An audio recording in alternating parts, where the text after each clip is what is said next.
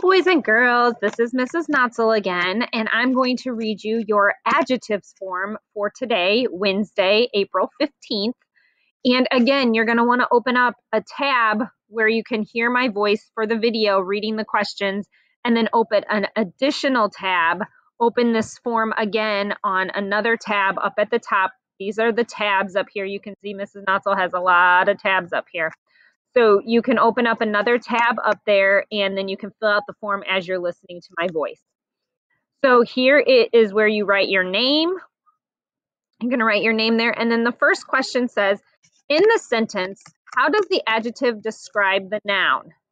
So this is the sentence. The four birds flew to their nest. So how does the adjective in that sentence describe the noun? The adjective tells about the size, the adjective tells how many there are. The adjective tells how something looks, or the adjective tells how something sounds. Number two, in the sentence, how does the adjective describe the noun?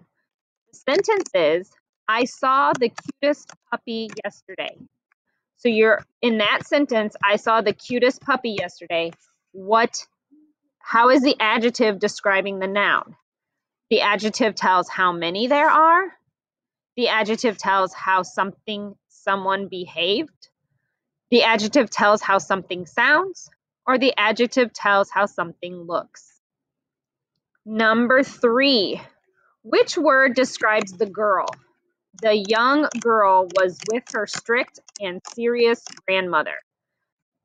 The first choice is strict, the second choice is serious, the third choice is young, and the fourth choice is grandmother. So how does the what word describes girl?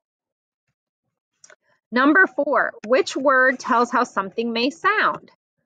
Quiet, purple, inches, or nine? Number five, which word tells how something may behave? 14, bumpy, pretty, or silly? Okay, I know all of you are going to do a great job on this adjectives quiz um, or this adjective form. Um, this is your exit ticket for today. We are we have been reviewing adjectives, so I know you guys are going to do a great job. Again, though, if you have any questions, please make sure you reach out to Ms. Lesko or myself, and we'll be more than happy to help you. Have a great day, guys. We miss you all.